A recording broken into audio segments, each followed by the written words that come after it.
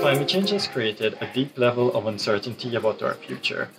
But one thing that is certain is that our youth will eventually be the one to take action against this global issue.